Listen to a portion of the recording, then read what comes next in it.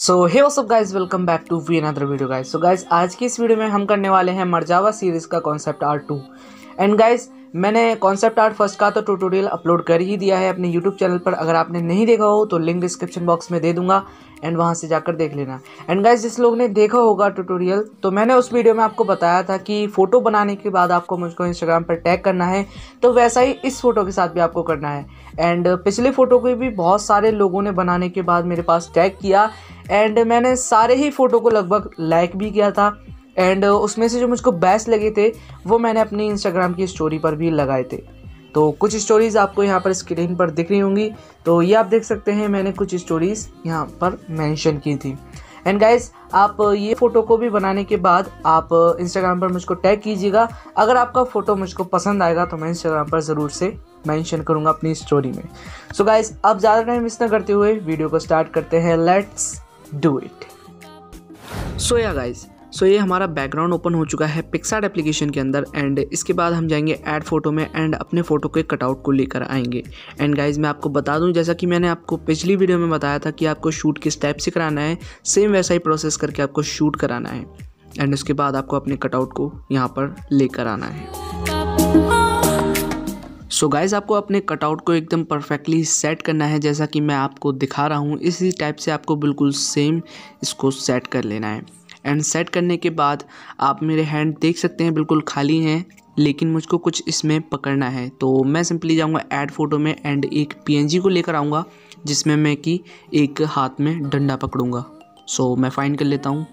तो ये रहा वो पीएनजी इसको हम कर लेते हैं ऐड ऐड करने के बाद आपको इसको परफेक्टली सेट करना होगा, जैसा कि मैं कर रहा हूँ। बिल्कुल सेम प्रोसेस ऐसा ही आपको अपनाना है एंड सेम इसी टाइप से कर लेना है। एंड गाइज़ इतना होने के बाद आपको फिर से ऐड फ़ोटो में जाना है एंड अगेन वही वाली पीएनजी को लेकर आना है। एंड गाइज़ अब हम दूसरे पार्ट को यहाँ पर लगाएँगे। तो इसको हम सिंपली ऐड कर लेते हैं। ऐड करने के बाद आपको क्रॉप करना है इसको। तो क्रॉप आप इसको हाफ़ कर लीजिएगा, यानी कि इसके नीचे वाले पार्ट को आपको क्रॉप करना है।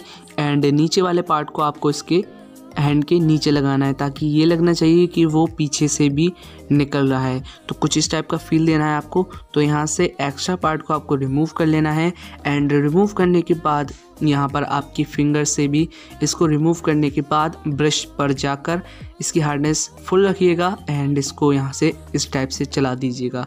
एंड चलाने के बाद आपको सिंपली कर देना है राइट पर क्लिक एंड ये हो जाएगा एकदम टन एंड इसके बाद हमारा जो बाकी का वर्क है वो हम कर देंगे। सो so, अब हमको जाना है ऐड फ़ोटो में एंड ऐड फ़ोटो में जाने के बाद अब हमको रेन ड्रॉप्स एंड कुछ वाटर पार्टिकल्स ऐड करना है इसमें ब्लेंड करके जो कि हमारे फ़ोटो को काफ़ी रियलिस्टिक लुक देंगे। सो गाय सबसे पहले हम इसको ऐड करेंगे एंड ऐड करने के बाद आपको सबसे पहले इसको क्रॉप करना है नीचे वाला इस एरिया को एंड आपको राइट पर क्लिक करने के बाद इसको फुल इमेज पर सेट कर दीजिएगा एंड ब्लेंड कर दीजिएगा स्क्रीन मोड पर। एंड इसके बाद आपको राइट पर क्लिक करना है एंड क्लिक करने के बाद अब दूसरे पार्टिकल्स हमको फाइंड करने हैं।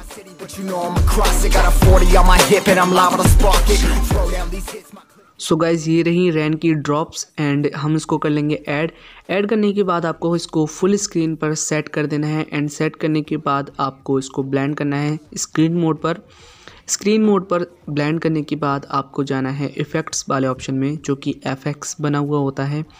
इस ऑप्शन में आपको ब्लर ऑप्शन चूज़ करना है एंड इसके अंदर लेंस ब्लर एंड आपको रेडियस की क्वांटिटी को कम कर लेना है एंड लाइटनेस को बिल्कुल ज़ीरो एंड आप राइट पर क्लिक कर दीजिए.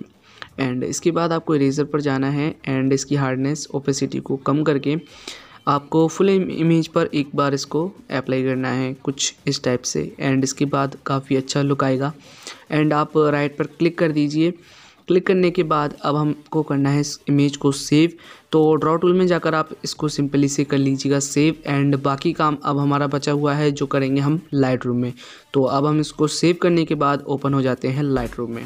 सो गैस हम सिंपली ओपन हो चुके हैं अपने लाइट रूम एप्लीकेशन के अंदर। इसके अंदर आपको जाना है सन वाले आइकन पर एंड कॉन्ट्रास्ट को आपको इंक्रीज़ करना है एंड इसके बाद आपको हाईलाइट्स को भी इंक्रीज़ करना है।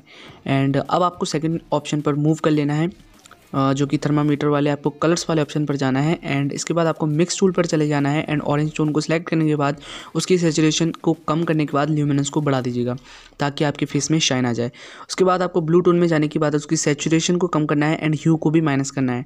सेचुरेशन थोड़ी सी ज़्यादा कम कीजिएगा एंड ह्यू को थोड़ा सा कम माइनस कीजिएगा। इसके बाद आपको बैक आना है एंड टेम्परेचर को थोड़ा सा माइनस की तरफ़ ले जाना है, ताकि आपके इमेज में एक ब्लू सी टोन आ पाए। एंड आप हो सके तो वाइब्रेंस ऑप्शन जो मिलता है आपको, इसको इंक्रीज़ करने के बाद सेचुरेशन को थोड़ा सा कम कर दीजिएगा।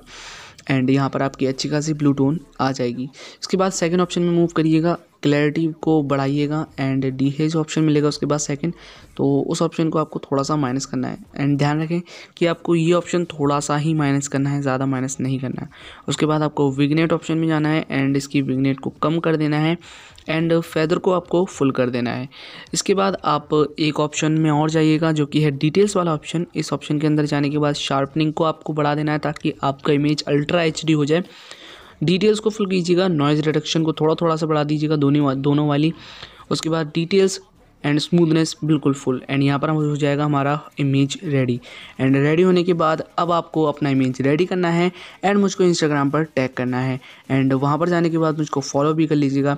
एंड आई होप कि आज का वीडियो आप लोगों को पसंद आया होगा। वीडियो पसंद आया हो तो वीडियो को लाइक ज़रूर करना। एंड मैं मिलता हूँ ऐसे किसी नेक्स्ट वीडियो में, तब तक